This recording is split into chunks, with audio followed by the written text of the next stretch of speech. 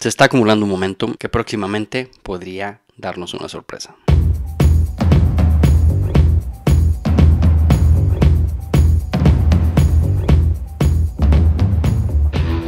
Hola amigos, ¿cómo están? Bienvenidos a este nuevo video sobre criptomonedas. Espero que estén todos muy bien este domingo 11 de diciembre. Ya casi, ya en el último mes del año, casi terminamos este 2022 que ha sido muy complicado en los mercados. El día de hoy tenemos un video lleno de información donde pasamos a ver algunas noticias. Vamos a ver, por supuesto, Bitcoin desde algunos diferentes ángulos y al final estamos viendo estas altcoins. Vamos a ver el día de hoy Ethereum, Cardano, vamos a ver Apecoin, Axie Infinity y SushiSwap. Así que espero que les guste el video y la selección del día de hoy. Comenzamos como siempre agradeciendo los más de 100 mil suscriptores del canal. Muchas gracias a todos ustedes. Y por favor, si les gusta el contenido, si les gusta este video, es la primera vez que estás viendo, espérate al final, revisa la información. Y si te gusta, suscríbete y regálame un like. El día de hoy vamos en el Crypto Fear and Grid que estamos en 26, es donde hemos estado prácticamente la última semana, 25, 26, 27. No se ha movido mucho. Y el hash rate ya tenía rato que no lo veíamos aquí en el canal. Y vemos que no nos hemos perdido mucho, ¿no? Ha estado muy lateral en esa parte alta de la, de la gráfica. Entonces,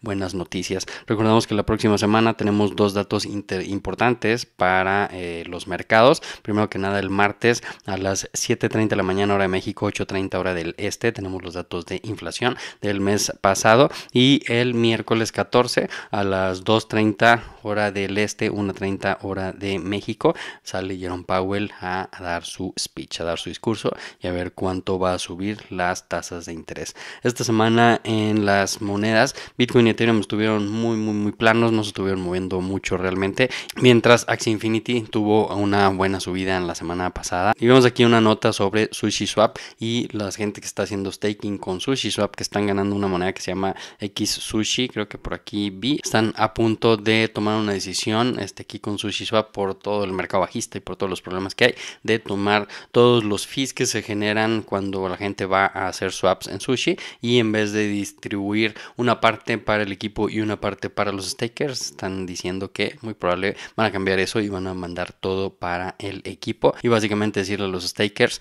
muchas gracias, ya no vamos a estar repartiéndoles nada. Starbucks está viendo interés sin precedente con este, personas que se están anotando para apuntarse al lanzamiento de la plataforma que va a estar corriendo en Polygon para recibir recompensas por ser cliente frecuente, etcétera. Están recibiendo muchas solicitudes de personas que quieren participar en la etapa beta. Última hora, el fundador de FTX está dispuesto a testificar frente al Comité de Servicios Financieros de la Cámara de Representantes en la Unión Europea el 13 de diciembre aunque pues, no tiene mucha elección. La reserva de Bitcoin de Crypto.com está sólida, está fondeada bien al 100%, incluso al 102%, según la auditoría aquí de Mar lo cual es algo bastante positivo para este exchange. La adopción de Bitcoin hará El Salvador uno de los países más ricos del mundo, según el multimillonario Tim Draper. Vemos aquí esta publicación, Bitcoin es el derecho de propiedad digital más importante del mundo en un mundo que se está volviendo digital, de acuerdo a Bloomberg Intelligence. Aquí está el business plan de Kids with Ties en la plataforma de Instagram y también en la plataforma de Twitter. Cada vez más cerca, este van a ver solamente 1444 NFTs y vemos que la Unión Europea está intentando prohibir las transacciones en efectivo superiores a 10.000 euros y permitir que los Estados miembros impongan límites más bajos si así lo desean la Unión Europea necesita Bitcoin. Y vemos cómo Bitcoin está apoderándose de ella. El mejor momento para retirar tu Bitcoin de los exchange fue cuando lo compraste. El segundo mejor momento es el día de hoy si todavía lo tienes en un exchange. Esto no quiere decir que lo vendas, esto quiere decir que lo retires a tu billetera. Por lo que ya pasó con FTX, por lo que ha pasado con algunos otros sitios, algunos otros exchange, mejor tenerlo en tu billetera. Michael Saylor dice que la industria de Bitcoin crecerá 100 veces en la próxima década con la adopción institucional general generalizada. Ahorita sabemos que Cardano está en descuento, todo el mercado está en descuento. Por eso es que en estos momentos estamos lanzando la colección serie 1 de Kits with Ties para aprovechar estos precios tan bajos que tenemos en las monedas. Pasamos a ver aquí las gráficas, amigos. Comenzamos viendo el SP500. Que vemos que la semana pasada cierra con una caída bastante, bastante fuerte. Después de estar aquí subiendo muy, muy, muy bien. Vemos aquí como hemos tenido una caída muy fuerte también, pero esta no había comido la anterior. Y ahorita no se ve muy bien esta caída, aunque encuentra soporte en esta línea de tendencia, pero de todas formas no se ve nada bien. Indicar, esto podría indicarnos que puede venir continuación de caída. Lo mismo con el Dow Jones, vemos aquí como rompe su formación, viene el Golden Pocket, después tiene una vela muy muy muy similar, parecía una vela martillo y después esta está comiendo, está, está envolviendo estas últimas dos, incluso estas últimas tres, podría indicarnos también que quiere continuar la caída. Obviamente va a tener mucho que ver cómo salgan los datos de inflación y qué es lo que diga la Fed con la tasa de interés. Nasdaq no se queda atrás, también tiene una vela que envuelve estas últimas dos verdes y esto también nos puede indicar que continúa la caída, algo así como después de una vela tan grande que envolvió, también continuó la caída. Entonces no se ven muy bien las cosas, no se ven grandiosas las cosas en los mercados tradicionales y pasamos a ver aquí el índice del dólar en donde después del rechazo de esta primera extensión Fibonacci que lo hemos platicado mucho en el canal viene baja rompe su línea de tendencia y pues ha seguido aquí cayendo esperemos que esta con wick más grande y cuerpo pequeño no sea una vela de reversión y tengamos un impulso hacia arriba una vez que vino a probar este nivel Fibonacci y que al contrario mejor que rompa y se vaya más hacia abajo. Y el petróleo que tiene semana roja también muy muy muy sangrienta que podría seguir aquí su camino impulsándolo hacia el siguiente nivel Fibonacci por allá los 62 63 dólares por barril. Pasamos a ver Bitcoin amigos en donde las últimas dos semanas prácticamente hemos estado siguiendo este movimiento este hombro cabeza hombro que termina rompiendo invertido perdón que termina rompiendo tiene un target por ahí de los 18 mil dólares. Todavía no llega a ese target porque ha estado topándose con este nivel Fibonacci importante 78% Fibonacci. Y vemos aquí como tiene un intento un segundo intento. Aquí se queda un poquito corto. Y tenemos por otro lado esta línea de tendencia que era un triángulo. La alargamos fue donde encontró soporte últimamente. Vemos cómo se está acabando el tiempo. Va a tener que tomar aquí una decisión Bitcoin próximamente en los próximos días la próxima semana si termina rompiendo este nivel para dirigirse al menos a los 18.000 18.100 18.200 a probar este nivel de soporte o de, de resistencia perdón o si bien termina rompiendo esta línea para empezar una caída un poquito fuerte que lo podría llevar hasta los 15 mil dólares. Entonces, pues vamos a ver qué termina o qué decide de hacer Bitcoin la próxima semana. Por otro lado, tenemos los niveles EPR que hemos estado platicando desde que comenzó el mes de diciembre, que muy probablemente venga a probar algún punto entre los 17.600 y los 18.500 en el borde o dentro de este rectángulo blanco que es el nivel central CPR para después de ahí tomar su decisión. Si viene hacia arriba, lo encuentra como soporte y se dirige a los 20 o si tiene un rechazo para ir a probar los 14.592 después. Vemos esta gráfica, velas de dos meses. Hemos estado viendo este indicador que se llama el CM Ultimate MA con esta configuración, donde podemos ver así en velas de dos meses como después de los mercados bajistas, este aquí ha estado rojo completamente y después de que tiene un impulso, un empujón hacia arriba, pues eso viene un largo verde que nos dan movimientos bastante, bastante buenos, un nuevo ciclo alcista, nuevo, este, en este otro mercado bajista, el 2015 también, este que está bajando, bajando, bajando, cuando se aplana, después de eso viene el verde que también da inicio a un nuevo este ciclo alcista, mercado bajista anterior lo mismo, estaba bajando, se aplana y después de eso viene un movimiento blanco, aquí fue muy rápido este movimiento, pero se llegó a los 14, después tuvo un rechazo que marcó nuevamente un rojo y después tenemos el ciclo alcista anterior. Y ahora que vemos, vemos lo mismo, ¿no? Tenemos una caída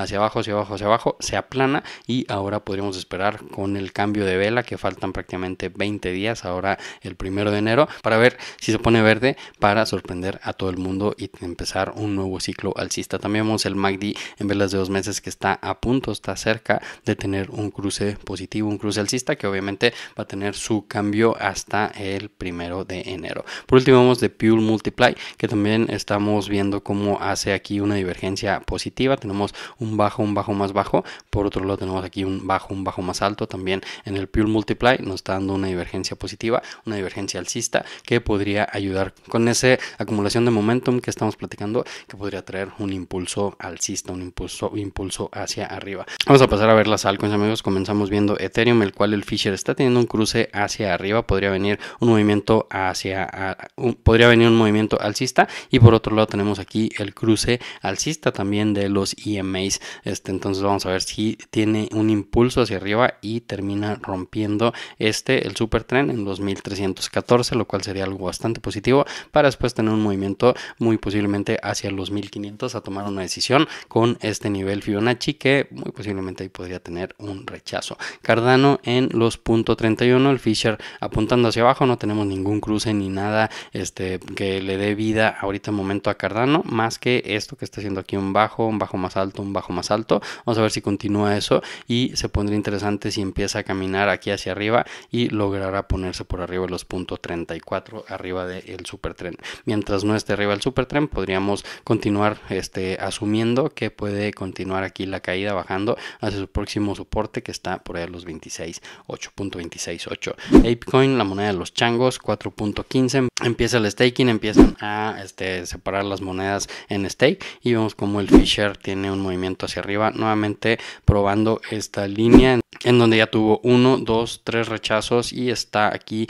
probando el cuarto. Estamos a ver si lo termina rompiendo. Se establece por arriba de los 4.26, vamos a decir 4.3 dólares para salirse de este canal bajista para romper esta línea que le ha estado dando aquí 1, 2, 3, 4, 5, 6 días de rechazo y este se pusiera arriba de eso, entonces podría tener un movimiento hacia su próximo nivel por allá los 5.12 dólares donde vemos aquí que hay soporte y resistencia, ¿no? Entonces vamos a ver qué es lo que sucede aquí con A-Point o bien si termina siendo rechazado y es impulsado hacia abajo. Vemos aquí de A-Point como tenía una señal de compra del EMA Cross y también el Super Trend en verde diciéndonos que podría, eh, que es probable que haya algo de posibilidades de que siga ese impulso hacia arriba. Pues vamos a ver Axi Infinity que estemos aquí el Fisher pareciera también como que quiere agarrar una curvatura hacia arriba, aunque me preocupa mucho lo que veamos ahorita con los mercados tradicionales que no tuvieron una buena semana para nada y que podrían continuar bajando. Vamos a ver cómo arrancan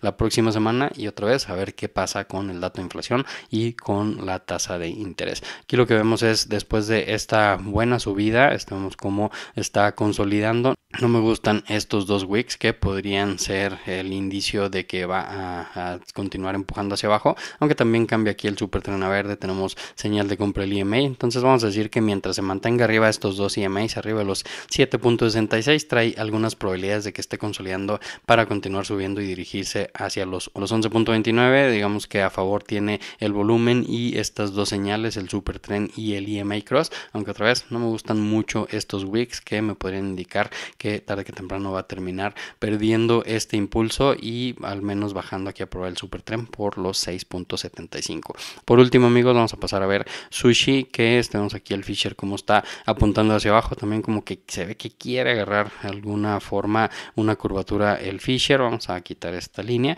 y nos quedamos con estas este, líneas de soporte y resistencia básicamente en los 1.9 y en el dólar en donde vemos cómo ha encontrado soporte en varias ocasiones. Vemos que de momento sushi no es un bajo más bajo como ya pasó con bitcoin como pasó con ethereum y muchas de las monedas contra el bajo que había hecho en junio pero con estos movimientos que se están cocinando que están tratando que está en la cocina diciendo el chef posiblemente vamos a quitar o vamos a dejar de darle recompensas a los stakers de sushi. No sé cómo lo tome la comunidad y podría venir un empujón hacia abajo. Vemos que el EMA nos está dando un cruce negativo, un cruce bajista después de esta caída y está consolidando como para continuar la caída si me preguntan. Muy bien amigos, eso es todo por hoy. Espero que les haya gustado este video y si Dios lo permite, nos vemos el día de mañana lunes. Bye bye.